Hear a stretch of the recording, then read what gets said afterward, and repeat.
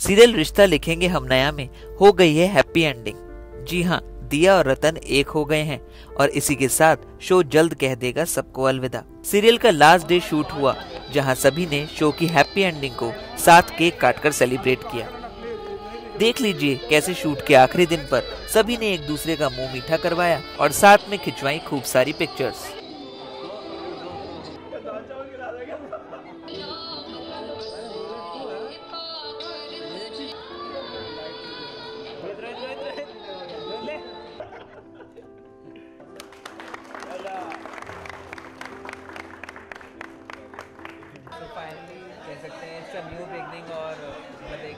शुरुआत अब नहीं आगे होगी लेकिन एक शो ख़त्म हुआ है आप लोगों का साथ में और हाँ कैसा लगा? एग्जैक्टली शो अब uh, ख़त्म ऐसा नहीं बोलते ख़त्म हो रहा है। Uh, एक पार्ट था जो कि uh, अच्छे से बहुत ही अच्छे नोट पे एंड हो रहा है and we are really grateful and thank you so much for all the love you have shown and yeah that was it was a really sweet journey आप क्या कहेंगे? कैसे रहा ये सफ़र? पहला पार्ट एंड देन दूसरा? सफ़र तो मतलब पूरा देश जानता है कैसा रहा है। पर बहुत मज़ा आया क्योंकि ये जो शो है वो सिर्फ़ मैं ही नहीं पूरी दुनिया याद रखेगी। और बहुत लड़े हैं हम बहुत कोशिशें की है इस शो को यहाँ तक पहुँचाने की। बहुत ही खूबसूरत तरीके से हम ये शो ख़त्म हो रहा है। तो याद तो आएगी पर बस हमें राही प्यार के फिर मिलेंगे चलते चलते। पहली जो लड़ाई इतनी लड़ी थी वो इतनी मेहनत की थी तो कुछ लगता नहीं कि थोड़ा जल्दी बंद हो गया उस हिसाब से अगर no I think we did pretty well for the channel because I think हम ऑन एयर आए थे end of October 7 November and it's going on till the month of June तो मुझे लगता है कि आठ महीने is a good amount of time for any show on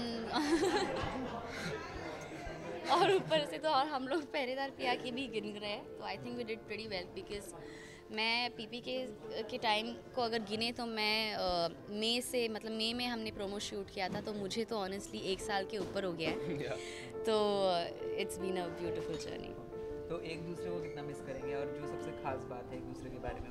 मैं uh, इसको एक्चुअली मैं इसे कभी कहूँगा नहीं। मैं इसे कितना मिस करूँगा, लेकिन इसने सच में मुझे बहुत सपोर्ट किया है राइट फ्रॉम द बिगनिंग हर चीज़ में एक्टिंग में, और कभी भी मुझे कहीं पे भी कोई प्रॉब्लम आती थी, मैं हमेशा इसके पास जाता था, इसके रूम में बैठता था, इससे पूछता था कि how do I solve this how do I solve that मैं इसको एक्चुअली रोज़ इसका चेहरा दिखता था, बारह घंटे। अपने मम्मी पापा से भी ज़्यादा मैं इसका चेहरा दिख रहा था। एक्चुअली अगर कहना चाहूँ तो तो या मैं बहुत ज़्यादा मिस करूँगा इसको।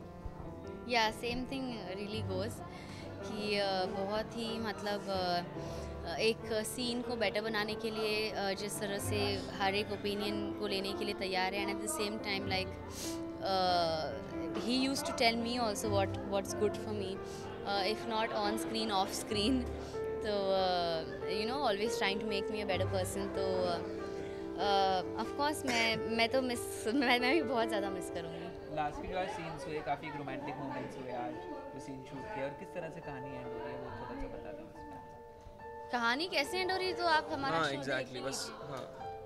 आज जो लास्ट सीन जो शूट किया उसमें रोमांटिक काफ़ी आज हमने लास्ट लास्ट सीन शूट ही नहीं किया है। आज का जो सीन था वो लास्ट था ही नहीं ना? हाँ एक्चुअली वो लास्ट था ही नहीं। एक्चुअली मैंने अब कहाँ लिखेंगे अब फैंस को? मैं एक्चुअली तू बता दे पहले कहाँ दिखने वाली है तू? दिखूँगी बहुत जल्द दिखूँगी। मैं भी बता नहीं सकती।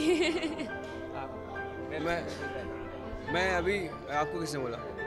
पता चला अच्छा नहीं अभी ऐसा मुझे पता नहीं है। एक्चुअली मैं अभी थोड़ा मेंटल स्ट्रेस दूर करने के लिए कहीं बाहर जा रहा हूँ। वो उसको वाप वो करने के बाद मैं जब वापस आऊँगा तब देखते क्या होता है। अभी फ़िलहाल तो कुछ नहीं है। सीरियल के लास्ट एपिसोड में दिया और रतन एक होते नज़र आएँगे और दोनों के बीच दिखेगा भरपूर प्यार। देख लीजिए रतन सा का रोमांटिक अंदाज।